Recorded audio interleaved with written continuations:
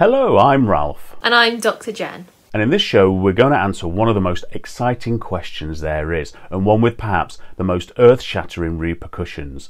Are we alone? Do little green men exist? And the answer to that question, if you've not got the time for a longer video and just want to grab the answer and go, is we don't know currently, but we should know whether there is life elsewhere in the galaxy in the next 10 years we are right on the precipice of being able to detect alien life. Come on, tell me that's not an exciting prospect. If you want to know what we're looking for and how we're going to find it, stick around.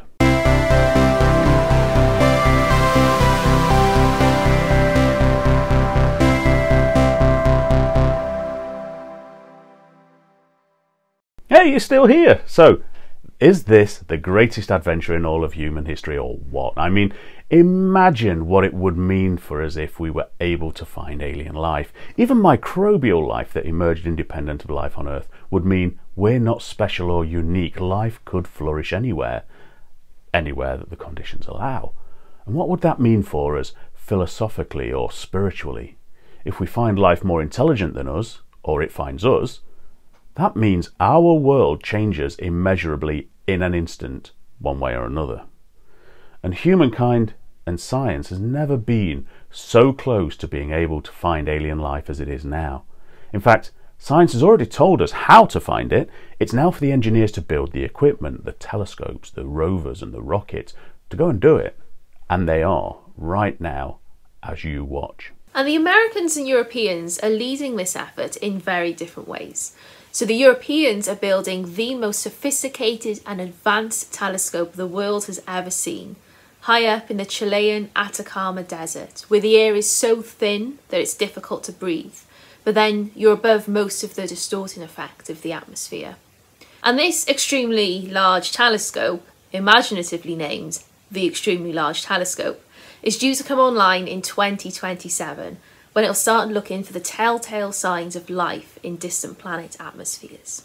And once operational, this telescope will turn its attention to faraway exoplanets that we've already detected and actually peer into their atmospheres to examine the composition of gases for ones that can only have come from life that exists on that planet.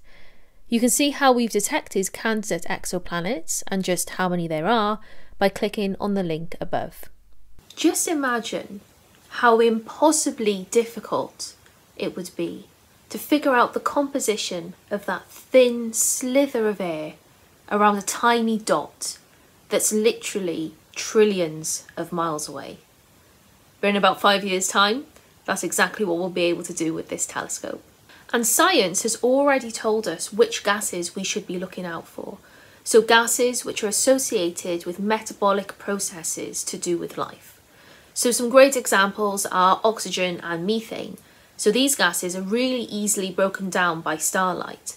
So if we find them in a planet's atmosphere, that tells us that something has to be continually replenishing these gases in the atmosphere in order for us to detect them. And so that's a great indication of possible life. Other compounds like methanol, acetone and isoprene, these are all released by living organisms into the atmosphere. So if we found any of those, then that would be a giant X marks the spot for further investigation. And it really could be signs that this planet is teeming with life and that we're not alone in this universe of ours. The Americans are doing something similar but with a space based telescope, what's often called the successor to the aging Hubble Space Telescope, the James Webb Space Telescope. This is now launched and is going through checks before the real science gets underway in 2022. But like Europe's ground-based extremely large telescope, this will also peer into the atmospheres of distant exoplanets that previous telescopes have suggested may be rocky and habitable. But again, with the phenomenal capabilities of this telescope, it will be able to detect those telltale gases and compounds. Of course, for both telescopes, the real smoking gun would be compounds in atmospheres that are only produced by intelligent life in an industrial stage of their evolution, like we are now. In a few years, we may know as there are dozens of faraway planets to examine, with more being found all the time. Then there's the search for life in our solar system with spacecraft that can get up close or even land on the planets and moons that have promising conditions. Saturn's moon Enceladus and Jupiter's moon Europa are two of the places that show the most promise. Both are worlds with liquid oceans under their surface ice. Both have cracks in those thick ice sheets that send geysers of water shooting out into space, which luckily our telescopes and spacecraft have been able to examine. And they show organic material in the water. Not life exactly, but rich minerals and nutrients that would nourish sea life. If there are thermal vents on their seabeds, like the regions where we think the first life on Earth may have emerged, those moons could also be teeming with life, but close enough that we could explore them with robots or human explorers, if we're comfortable contaminating that world with our own organic pollutants. And as luck would have it, there are missions to look for habitability on these moons too, there are a number of proposed robotic missions to Enceladus from NASA and the European Space Agency, none of which have been given the green light just yet. But the European Space Agency are launching a mission to fly by Europa in 2023, and NASA's Europa Clipper will launch in 2024 to search for signs of life in Europa's water geysers. Landers and drills to explore the icy surface or the oceans underneath the ice are always being considered by NASA too. But of course, the nearest and most alluring place to look for life in the solar system is Mars. In the late 1800s, famous American astronomer Percival Lowell had a look at Mars using the telescope he'd constructed in Flagstaff, Arizona. And this is the same observatory that much later in 1930, Clyde Tombaugh used to discover Pluto. And when he was looking at Mars, Percival Lowell saw features which he thought were canals. Letting his imagination run wild, he declared an advanced but desperate culture had built the canals to tap Mars's polar ice caps, the last source of water on an inexorably drying planet. When I was at the Lowell Observatory in 2008, I saw Mars through that telescope and struggled to see anything more than a small reddish dot. Undoubtedly a bad time of year to observe it, but I can understand how Lowell's imagination could run so wild with such a poor view of the planet and the rise of the science fiction genre with H.G. Wells telling stories of Martian invaders in his War of the Worlds. But if I was a cynical man, I'd say what better way to gain notoriety than finding hints of an ancient civilization on another planet? But we've been fascinated with the possibility of life on Mars ever since, and it wasn't until the Mariner 4 spacecraft flew past the red planet in 1965, taking incredibly grainy images, that we saw for certain that there is no advanced life and no evidence of past archaeology or engineering on the surface. But what about primitive life that never had the chance to evolve into advanced life before Mars became too dry? NASA's next big adventure was to get there and search for microbial life. Viking 1 and Viking 2 were the first spacecraft to land on Mars. They collected samples of the Martian soil, injected them with nutrients, and watched to see if the soil gave off gases that would mean there were Martian microbes in hibernation being brought back to life and starting to metabolize once again. And you know what? It did. And that got scientists excited that we'd found life. But only one of the two Viking spacecraft got that result which means even 45 years on, we still don't know if that was a real detection or not. And that's a great mystery to have. Recent studies of Mars's atmosphere suggest it once had oceans covering a third of its surface. The Mars Curiosity rover showed that the conditions for life also existed on Mars with drinkable water on the surface for at least a few hundred million years. So, over the next couple of decades, NASA and the European Space Agency are going to lead the search for life in the soil of Mars. ESA's Rosalind Franklin rover will launch in 2022 and land, hopefully, in 2023. It will then spend seven months drilling up to two metres into the ground to draw out samples beneath the surface where the sun's radiation hasn't been able to reach and sterilise any dormant microbes that might be lying there. These core samples will be placed into an organic molecule analyzer instrument to look for those frozen and dried out microbes in a modern day rerun of the Viking experiment in 1976. Now, over at NASA, they're doing something very interesting. They have the Perseverance rover on Mars, which is investigating a crater that used to be a river delta. So, this rover is looking at the most interesting parts of this old river delta where there could have been clays and minerals that may have once supported life.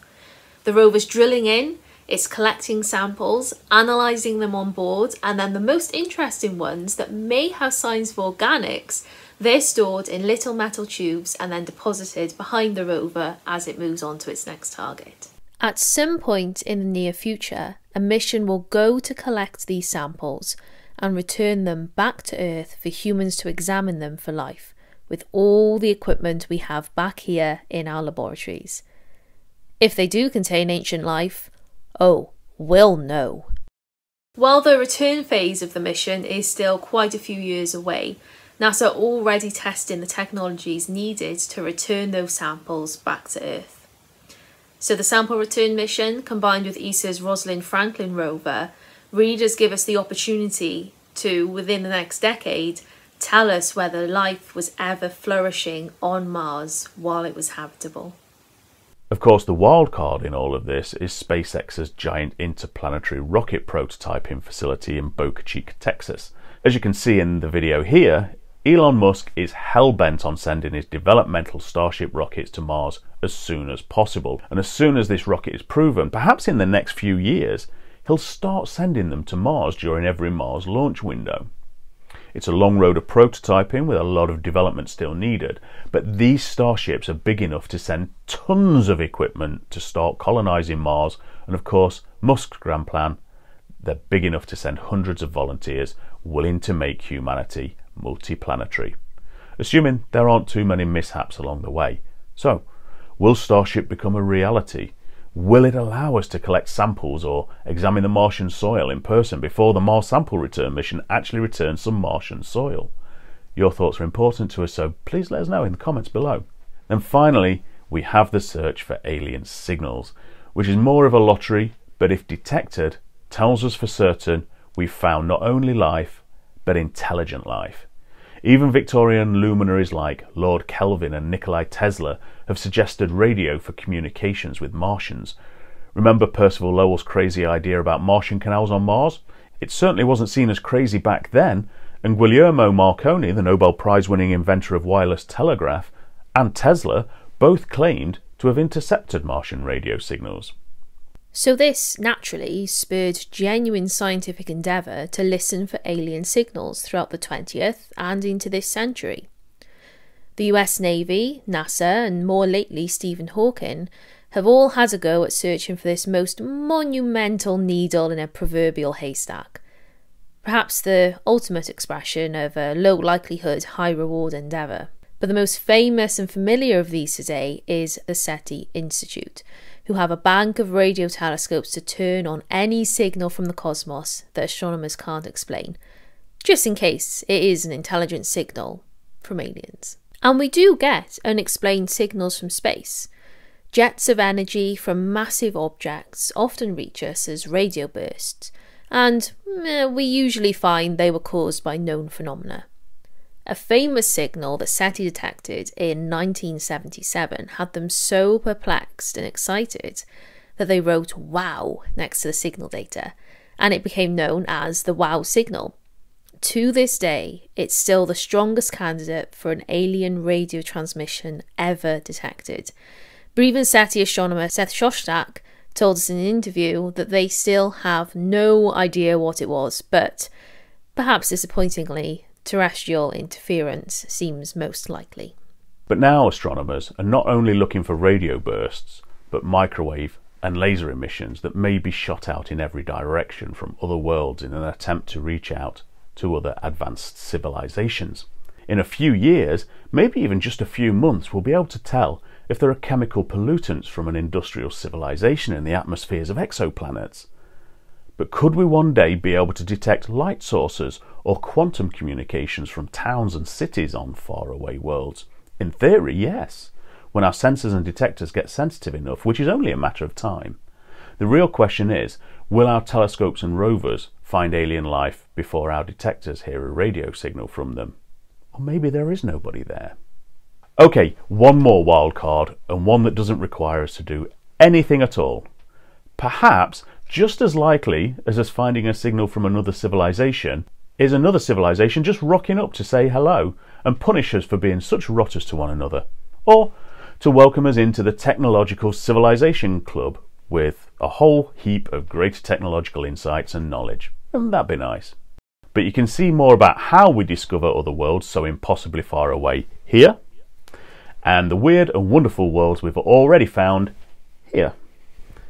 But let us know what you think about the search for alien life. Is it worthwhile? Would it change the course of humanity forever? Is it dangerous? Your thoughts are as good as ours, so let us see them in the comments below.